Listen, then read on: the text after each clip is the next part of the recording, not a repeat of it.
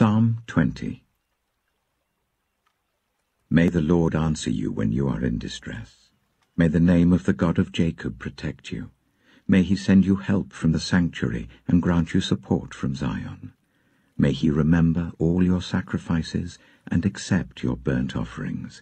May he give you the desire of your heart and make all your plans succeed.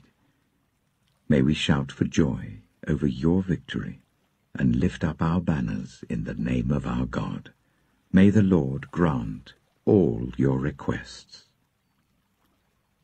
Now this I know, the Lord gives victory to his anointed. He answers him from his heavenly sanctuary with the victorious power of his right hand. Some trust in chariots and some in horses, but we trust in the name of the Lord our God. They are brought to their knees and fall, but we rise up and stand firm. Lord, give victory to the King. Answer us when we call. Proverbs chapter 20 Wine is a mocker, and beer a brawler. Whoever is led astray by them is not wise. A king's wrath strikes terror like the roar of a lion. Those who anger him forfeit their lives. It is to one's honour to avoid strife, but every fool is quick to quarrel. Sluggards do not plough in season, so at harvest time they look, but find nothing. The purposes of a person's heart are deep waters, but one who has insight draws them out. Many claim to have unfailing love, but a faithful person who can find? The righteous lead blameless lives. Blessed are their children after them. When a king sits on his throne to judge, he winnows out all evil with his eyes.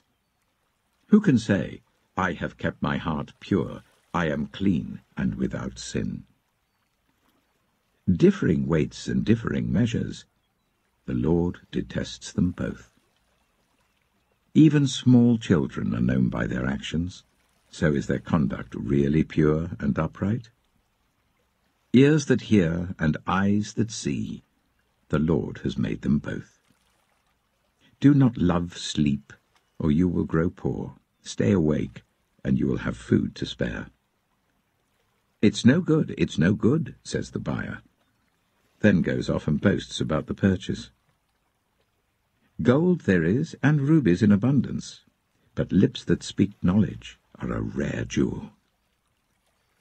Take the garment of one who puts up security for a stranger. Hold it in pledge if it is done for an outsider.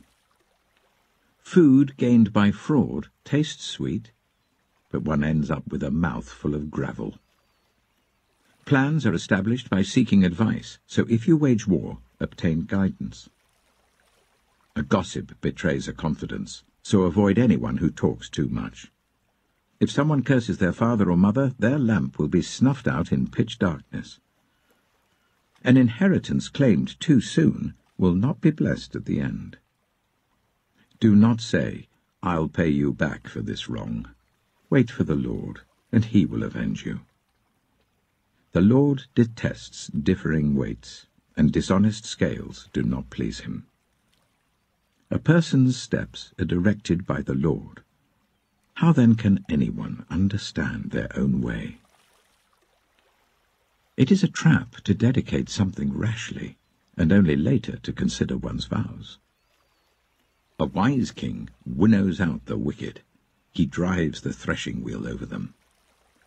The human spirit is the lamp of the Lord that sheds light on one's inmost being. Love and faithfulness keep a king safe. Through love, his throne is made secure.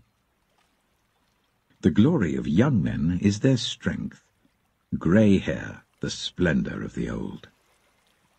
Blows and wounds scrub away evil, and beatings purge the inmost being. Matthew chapter 20 For the kingdom of heaven is like a landowner who went out early in the morning to hire workers for his vineyard. He agreed to pay them a denarius for the day and sent them into his vineyard. About nine in the morning he went out and saw others standing in the marketplace doing nothing. He told them, You also go and work in my vineyard, and I will pay you whatever is right. So they went. He went out again about noon, and about three in the afternoon, and did the same thing. About five in the afternoon he went out and found still others standing around. He asked them, why have you been standing here all day long doing nothing? Because no one has hired us, they answered. He said to them, You also go and work in my vineyard. When evening came, the owner of the vineyard said to his foreman, Call the workers and pay them their wages, beginning with the last ones hired and going on to the first. The workers who were hired about five in the afternoon came, and each received a denarius. So when those came who were hired first, they expected to receive more. But each one of them also received a denarius. When they received it, they began to grumble against the landowner. These who were hired last worked only one hour, they said, and you have made them equal to us who have borne the burden of the work and the heat of the day.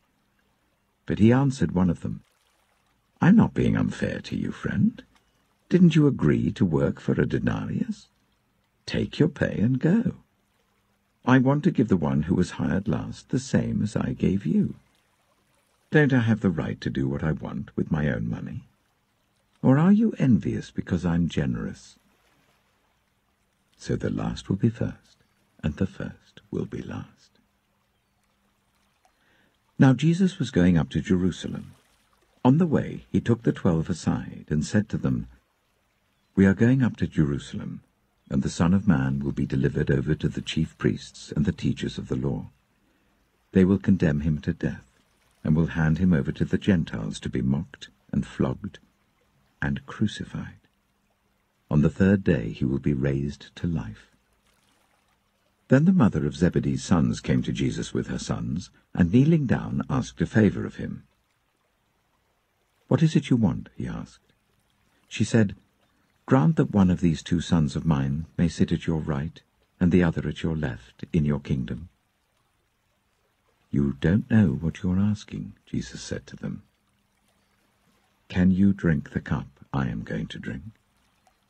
We can, they answered. Jesus said to them, You will indeed drink from my cup, but to sit at my right or left is not for me to grant. These places belong to those for whom they have been prepared by my Father. When the ten heard about this, they were indignant with the two brothers. Jesus called them together and said, You know that the rulers of the Gentiles lord it over them, and their high officials exercise authority over them. Not so with you.